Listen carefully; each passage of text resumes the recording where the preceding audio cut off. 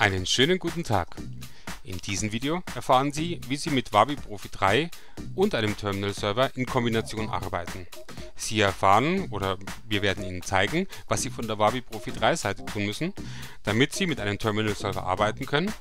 Dieses Video ist allerdings keine Anleitung, wie Sie einen Terminal Server einrichten und betreiben. Hierzu fragen Sie bitte den Computerladen Ihres Vertrauens. Denn das muss tatsächlich einer vor Ort machen, denn ein Terminal-Server muss eingerichtet werden, es müssen gegebenenfalls Ports geroutet und eingerichtet werden. Ähm, das würde den Umfang dieses Videos komplett sprengen. So, und wenn Sie da keinerlei Erfahrung haben, dann würde ich sagen, dann bitte lieber die Finger davon lassen, weil da können Sie Tage damit verbraten, ähm, das Ganze einzurichten. Okay. Zuerst einmal müssen Sie natürlich sagen, kommt für mich Terminal-Server-Betrieb überhaupt in Frage? Wenn Sie eine Einzelplatzversion haben, und das erfahren Sie, wenn Sie auf die Menüleiste Lizenz, Lizenzinfos klicken, und hier bei Anzahl der Netzwerklizenzen 1 steht, dann haben Sie eine Einzelplatzversion. Dann ist dieses Video für Sie nicht interessant. Okay. Sollten Sie hier mehrere ähm, Netzwerklizenzen stehen haben, dann könnte der Terminal-Server für Sie eine sehr, sehr interessante Möglichkeit sein. Warum? Ein Terminal-Server, und das können Sie auch mal ähm, im Internet recherchieren, ein Terminal-Server bietet Ihnen die Möglichkeit, Kommunikationswege kurz zu halten, was natürlich auch in der Praxis einen extremen Performance-Schub bedeutet. Denn wenn Sie im lokalen Netzwerk arbeiten, ist es ja so, dass Sie den einen Rechner mit dem anderen Rechner über einen Switch, über einen Hub oder direkt per Kabel WLAN verbunden haben. Okay. Diese Kommunikation oder der Abgleich der Daten, das heißt, wenn der eine einen Artikel verkauft und somit sich die Bestandsinformation reduziert, ähm, muss der andere das natürlich mitbekommen. Okay, diese Kommunikation, ich habe einen Bestand verändert, ich habe einen neuen Artikel angelegt, ich habe einen neuen Kunden angelegt, ich habe Lieferscheine abgerechnet und so weiter, muss natürlich überall auf allen PCs abgeglichen werden. Und ein Netzwerk ist generell immer etwas langsamer. Sie können natürlich Ihr Netzwerk tunen, indem Sie ein Gigabyte-Netzwerk reintun, eine schnelle Grafik, äh, schnelle Netzwerkkarte reintun, Ihr Motherboard die dementsprechende ähm, Grundvoraussetzung schon mal mitbringt oder die, die richtige Infrastruktur mitbringt, dass er sagt, okay, ich bin einfach netzwerktechnisch gut ausgestattet, ja, dann kann man damit schon Performance gewinnen, aber das wird nie an, an den Terminal-Server-Betrieb herankommen. Denn ein Terminal-Server ist einfach die schnellere Variante, um von verschiedenen Stellen auf, auf zentrale Daten zuzugreifen. So, jetzt haben wir ziemlich lang ähm, so außen geredet. Jetzt fangen wir einfach mal ganz praktisch an. Wenn Sie jetzt noch dran sind, dann gehören Sie zu den Tapferen. Also, zuerst einmal müssen Sie natürlich, wie gesagt, wenn Sie mehr als eine Netzwerklizenz haben, müssen Sie unter Administration Terminal-Server-Stationen aktivieren bzw. anlegen. Ich möchte darauf hinweisen, dass die Betriebnahme eines Terminal-Servers mit zusätzlichen Kosten natürlich unsererseits verbunden ist. Das heißt, sollten Sie sagen, ich will einen Terminal-Server betreiben, dann kostet es zu Ihrer bestehenden Lizenz zwar einen minimalen Obolus, aber es ist halt trotzdem mit minimalen Kosten für Sie verbunden. So, wir legen nun verschiedene Stationen an ja, ich will eine neue Station anlegen und ich sage jetzt mal einfach mal Name der Station 1, ist doch egal. Ich sage speichern, ja. Ich muss natürlich den Mandant als aktiv setzen. Da sage ich 2, auch speichern, ja. Dann mache ich hier noch einen neuen, dann sage ich 3, auch aktiv, ja. Mache wieder einen neuen, dann sage ich 4, Mandant aktiv, speichern. So, Jetzt sagt Wabi Profi 3, hey Benutzer, du hast nur drei äh, Lizenzen, also du kannst nicht vier Stationen anlegen. Deswegen, er, akzepti er akzeptiert zwar das Anlegen der vierten Station, aber sie werden diese vierte Station nie aktivieren können, weil sie ja nicht mehr Lizenzen haben. Wenn wir uns das Ganze hier ansehen, die vierte Station ist nun deaktiviert. Selbst wenn Sie da reingehen und sagen, hey, ich will das aber aktivieren, also macht er nicht, okay? also wir haben jetzt drei aktive Stationen, 1, 2 und 3 und die 4 ist halt jetzt drin, aber nicht aktiv. Sie sollten, wenn Sie das getan haben, ja, nun äh, das System beenden, das System neu starten. Also das müssen Sie einmalig tun, okay? Nun starten wir Wabi Profi erneut. Und Sie sehen, dass Sie gleich zu Anfang ein Auswahlfenster erhalten, in dem er sagt, hey Benutzer, wer bist du? Welche Station bist du oder welche Station willst du in Betrieb nehmen? Wir sagen jetzt mal einfach der Einfachheit halber, wir sind die 1, also die erste Station. Nun sagt er Auswahl übernehmen. Sie können jetzt ganz normal ähm, ja, Ihr Programm starten. Sie wählen Ihren Benutzer aus, und loggen sich ein. Alles gut.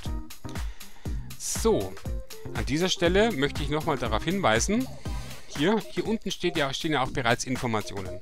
Diese Informationen stehen natürlich nicht, weil sie hübsch sind und weil sie da gerade Platz haben oder, oder weil wir Buchstaben übrig hatten, sondern weil diese Informationen wichtig sind. Es steht hier Achtung, wenn Sie keinen Terminal-Server haben, tragen Sie hier bitte nichts ein. Wichtig, weil wenn Sie hier Informationen eintragen und dann sagen, ah, ich brauche ich doch nicht oder ich kenne mich nicht aus und ja, dann ist es nicht ganz so einfach. Also, wenn Sie einen Terminal-Server haben, den in Betrieb nehmen, dann was eintragen, ansonsten Finger weg. Es steht auch des Weiteren hier, denn durch Falschangaben können Sie Ihr System instabil machen. Das heißt, es kann irgendwas nicht mehr funktionieren. Und hier steht, an den Clients darf nichts im Netzwerkpfad eingetragen sein. Wir erinnern uns, über unseren Online-Helper, den Sie ja kostenlos auf unserer Seite unter wabi3.de herunterladen können, können Sie einfach Netzwerk eingeben und dann sehen Sie hier schon Netzwerk einrichten. Hier erhalten Sie die Information, wie Sie ein Laufwerk mappen. Das heißt, wenn Sie, wie Sie den Zugriff vom Client oder nennen wir einfach mal die Dinge beim Namen, von der Kasse ins Büro oder umgekehrt vom Büro zur Kasse, wie Sie hier den Datenaustausch oder den, den Datentransfer einrichten. Also zwischen verschiedenen Stellen. Das ist die Netzwerkgeschichte, okay?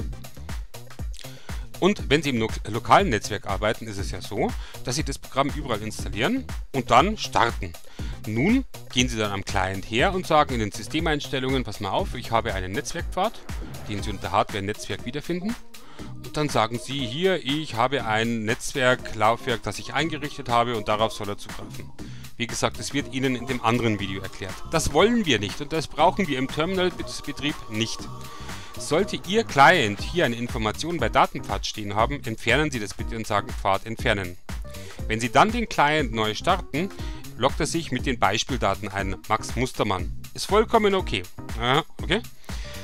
Also, ähm, beim Terminal-Server ist es jetzt ein bisschen anders. Wie gesagt, im Netzwerk überall installiert, überall lokal ausgeführt und der Client holt sich die Daten vom Hauptrechner. Soweit, so gut. Beim Terminal-Server ist es anderes. Ich habe hier zwei Icons. Ne? Einmal Wavi Profi 3 und hier auch einmal Wavi Profi 3. An dieser Stelle gehen wir mal auf Eigenschaften. Ich sage, dass das hier auf unserem Laufwerk G für Wavi Profi 3 liegt. Okay. Hier habe ich ein weiteres Icon und sage Eigenschaften. Hier stellen wir fest, dass, und dass das Ganze, also dass es eine Kopie vom ersten im Prinzip ist. Das heißt, es greift alles auf die gleiche Exe-Datei zu. Und hier liegt die Magic in dem Ganzen. Beim Terminal-Server-Betrieb arbeiten Sie quasi auf ein und denselben Rechner. Beliebig viele Leute. Ein Terminal-Server Terminal sollte natürlich schnelle Festplatten, sehr, sehr viel Speicher drin haben. 8 bis 16 GB würde ich Ihnen da empfehlen. Ja, also, nun machen wir folgendes. Wir starten Wavi Profi 3 erneut. Und zwar hier, ich sage jetzt mal, ich wähle mal das andere Icon. Sehr, sehr schön ist jetzt, dass Sie jetzt natürlich auch wieder die Auswahl bekommen und sagen, und der sagt dann, oder er will dann wissen, wer bin ich? Wenn Sie jetzt sagen, ich bin die Station 111, die wir ja, wir erinnern uns, an, in dieser Session gestartet haben und nun sagen, wir wollen die, das übernehmen, sagt er, das geht nicht, weil das ist ja schon gestartet. Okay, also wir sagen einfach mal, ich bin die Station 222. Ja, jetzt kann ich das ganze Ding starten. Und ich bin nun eingeloggt. So, jetzt können wir einfach mal einen Versuch machen.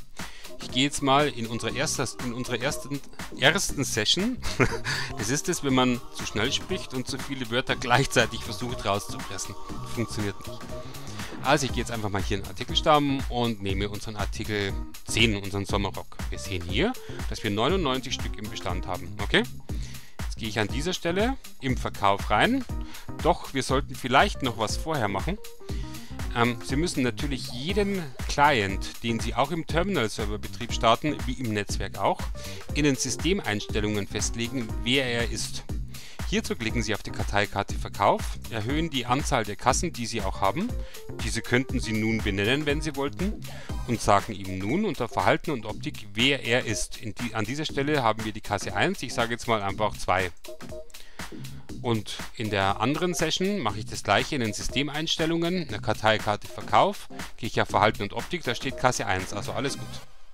Okay, Wir starten hier nun unsere Kasse. Wir, wir, melden uns an und wählen den dementsprechenden Umsatztag aus, wenn wir die Kasse das erste Mal betreten.